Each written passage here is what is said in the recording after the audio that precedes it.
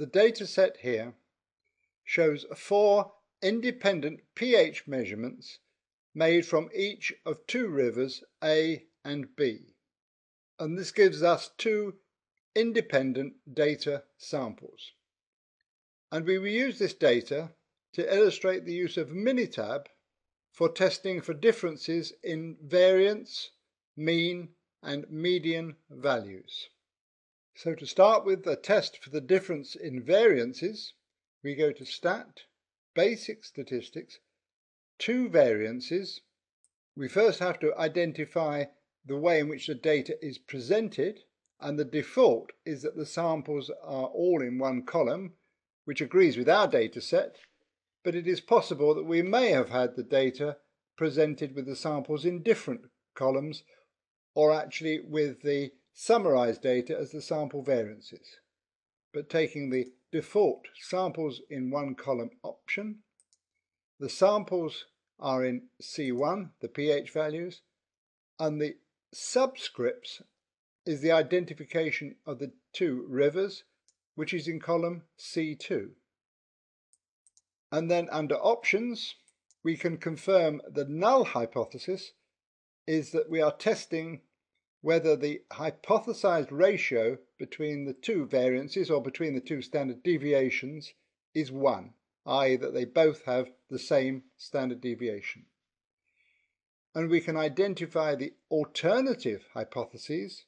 So for a two-tailed test, the alternative is that the ratio is not 1 or for one-tailed test, we can select either that the ratio of 1 to 2 is less than 1 or greater than 1.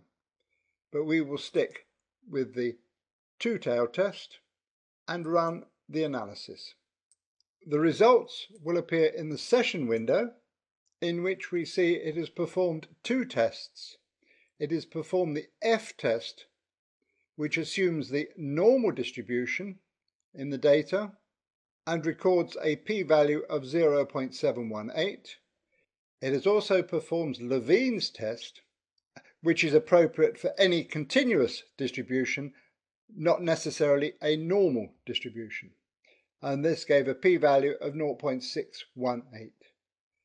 Both of these p-values are greater than 0.05, which suggests that there is no evidence that there is any significant difference in the variances of the distributions from which these two samples were drawn.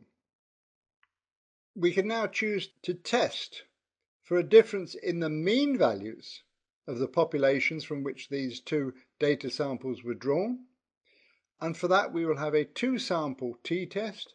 So stats, basic statistics, two sample t-test Again, the options depend on how the data is presented, either summarized data with values for sample size, mean and standard deviation, samples in different columns, or as in our case, the pH data samples are all in one column, which is in column 1, and the subscripts is the identification of the river, which is in column C2.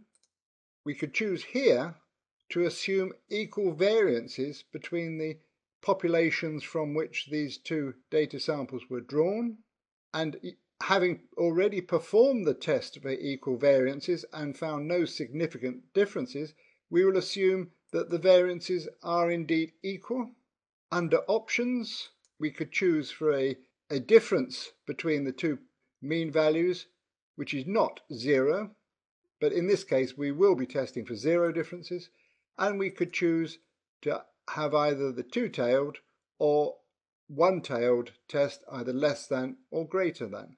But we will stick with not equal, the two-tailed test, and then we will simply run the analysis and the results appear in the session window. The test is testing for a difference of either zero, which is the null hypothesis, or not zero. It gives the calculated t-value. Because it has assumed equal variances, it has calculated a pooled standard deviation, which is the best estimate of the standard deviation of the populations from which the data was drawn.